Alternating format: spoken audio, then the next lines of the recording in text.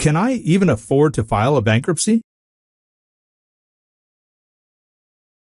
The attorneys at Stamps and Stamps explain that. For most people, affording a bankruptcy isn't difficult. There are two types of bankruptcy.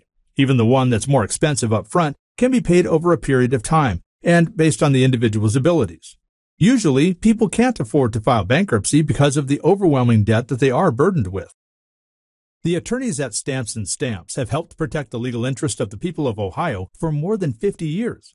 When tragedy strikes, they will provide the legal support you and your family need to help you protect your rights, your home, and your future.